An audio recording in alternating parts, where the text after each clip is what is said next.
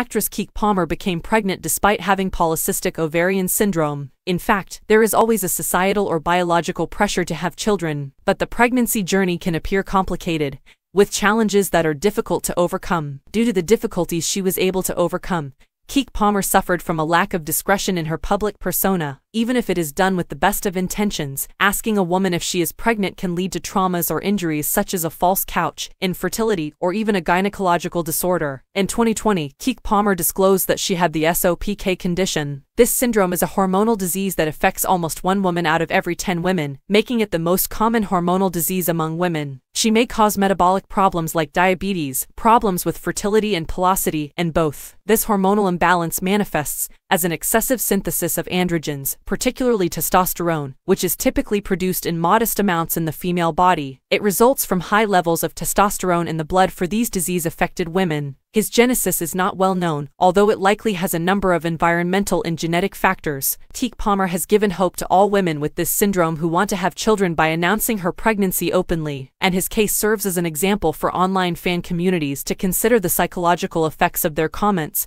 and interactions, even those that are purely virtual.